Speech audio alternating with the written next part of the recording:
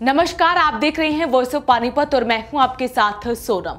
सुबह के इस खास अंक में आप सभी का स्वागत है। लंबे अरसे के बाद हुई नगर निगम हाउस की बैठक, हाउस की बैठक में पार्षदों ने दिखाए आक्रामक तेवर तो बैठक को ढाई घंटे बाद ही किया गया स्थगित। हाउस की बैठक में इस्तीफा देने वाले पार्षद लोकेश नागरू ने पूछा, नगर निगम को कौन चला रहा? तो मेयर नहीं दे पाई जवाब, अब 11 दिन बाद फिर से होगी बैठक। चार साल पहले 16 साल की नाबालिग छात्रा से दुष्कर्म करने और जान से मारने की धमकी देने वाले आरोपी नाबालिग छात्र को कोर्ट ने सुनाई 10 साल की सजा। एसपी शशांक कुमार सावन ने सात थाना प्रभारियों का इधर से उधर किया स्थानांतरण।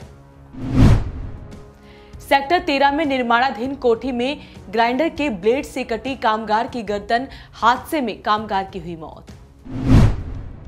महिला कांग्रेस के जिला अध्यक्ष नीरजा बाहरी ने बीजेपी का चुनाव चिन्ह कीचड़ में डालकर किया विरोध, कहा शहर का हुआ बुरा हाल।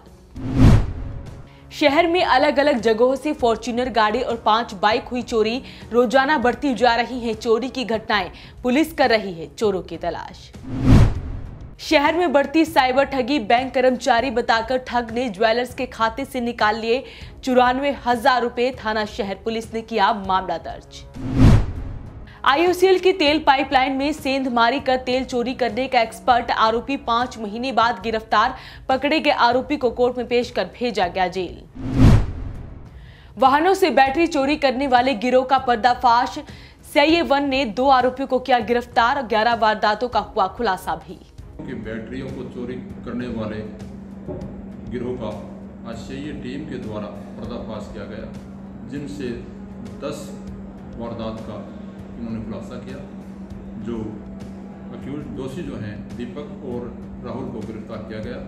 आज न्यायालय में पेश करके जुडिशल जेल भेजा गया, जो ये दोनों आरोपी हैं, ये नशा करने के आदि हैं, जो गाड़ियों से बैटरी चोरी करके दो तीन हज़ार रुपये बेच के अपना नशा करते हैं और आज इनसे ई रिक्शा और ढाई हज़ार रुपये बरामद किए गए हैं। अभी के लिए फ़िलहाल इतना ही। ताज़ा अपडेट के लिए जुड़ रहे वॉइस ऑफ़ पानीपत के साथ। नमस्कार।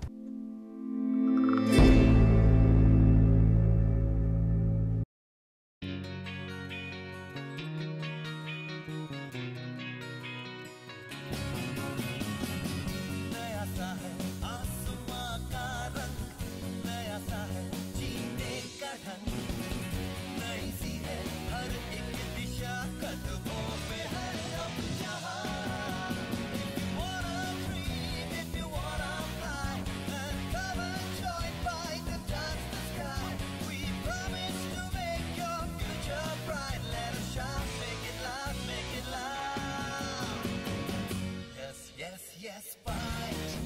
Yes, fight is the right choice